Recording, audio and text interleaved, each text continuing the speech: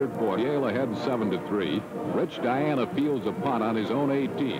And there he goes. All the way to the UConn seven-yard line.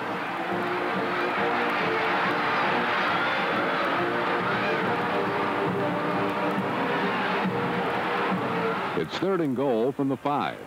Diana is set right as a slot back. Rogan rolls right and delivers the ball to Diana.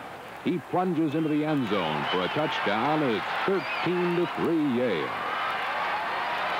In fourth quarter action, Diana, Yale's meal ticket in the backfield, takes the pitch from Rogan and bursts up the middle for a 26-yard gain to the UConn 18.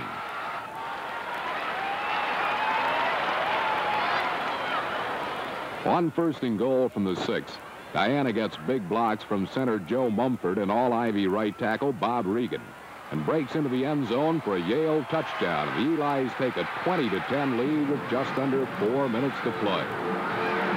The Yale